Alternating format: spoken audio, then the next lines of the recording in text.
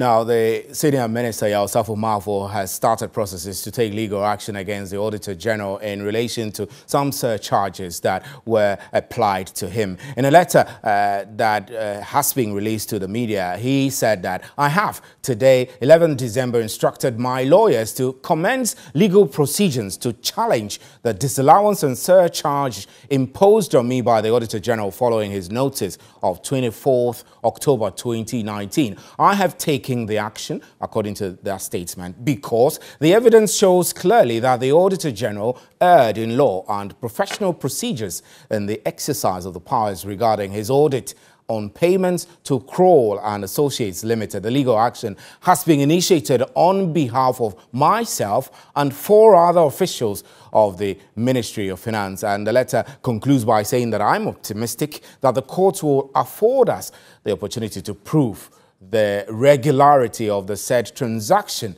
and clear out na my names, uh, our names in the process. The statement was signed by Senior Minister Yaw-Osafo Maafo.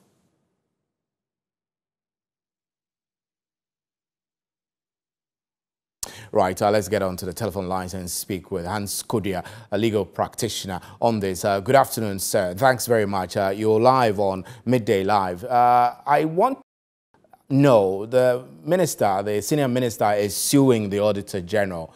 Does it mean he's suing the man or the state? Well, thank you very much, sir.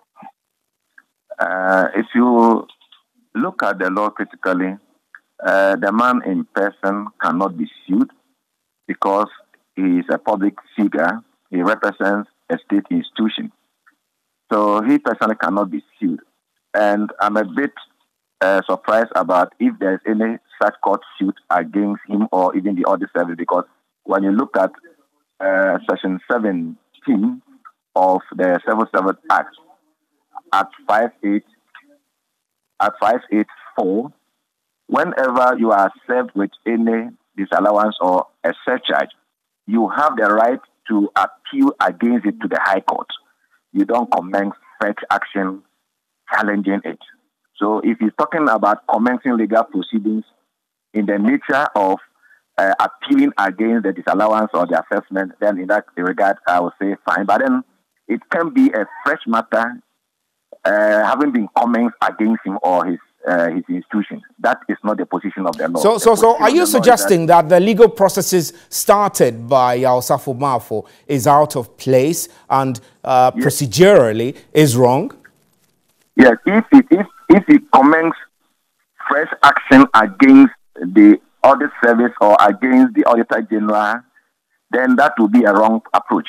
Mm. The law specifically, section seven of Act five eight four, states that whenever you are served with any disallowance or surcharge, and you are aggrieved by it, you have the right to appeal to the High Court and not to commence fresh action challenging it or otherwise.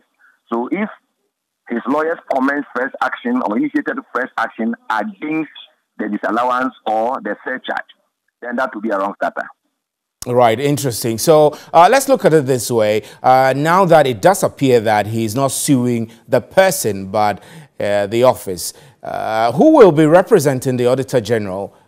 Would that be the, the state? Yeah, honestly, almost all the civil, uh, the public services have lawyers. But so in some cases, the lawyers can, uh, but this case is the attorney general who would have to represent the state. It's a state institution, and matters affecting the state is the attorney general that you know represent such institutions. So the attorney general will be involved. Although these institutions, as I said, may have legal officers who sometimes provide legal advice and legal services to the to the service. But Attorney General is likely to be the person but, that will defend. But will this would this be fair? I mean, considering that the Attorney General, Minister of Justice, is an appointee of the same government uh, from which Yaw-Osafo Maafo and the Finance Ministry officers uh, serve. Yes, you know, this is this is the issue because we have talked about conflict of interest before. You know, so what I said, the audit service, you know, is part of public institutions. And once it's a, it's a public institution that is involved, you know, you can't rule Attorney General out. You can't rule that office out. They have to be involved. Right. You know, yeah, so that's that's that's how the whole thing right, uh, Mr. Kodia. We're grateful for your time. Thank you extremely. Hans Kodia is a private legal practitioner. This is Midday Live. Uh, let's uh, look at the anti-corruption dimensions and get onto the other telephone lines and speak with co-chair of the Citizens Ghana Movement, uh, Tony Dogbe, who joins us now. Good afternoon, sir. Thanks very much. So uh, the position we are appears like the Auditor General is being dragged to court for doing his job. Is that how anti-corruption graft agencies see this? Hello, sir. Right. Uh, uh, we're trying to get him on the telephone line. So uh, you will know that Yaw Osafo Maafo, the senior minister, has taken the Auditor General uh, to court. And we just spoken with a legal expert who says that the case cannot be against the person of the Auditor General, but the, the institution he represents. Uh, this is in connection with a letter that was issued by the senior minister, Yaw Osafo Maafo, dated December 11, in which he says that he's instructing his lawyers to start legal proceedings to challenge the disallowance. So the word here is challenge the disallowance and surcharge imposed on him by the Auditor General. This uh, appears to be the right procedure to follow, according to the legal aspect. He says in that in a letter issued to, this, to, to the press that he is taking the action because the evidence shows clearly that the Auditor General erred in law and professional procedures in the exercise of his powers. Let's uh, get to speak to anti-corruption a uh,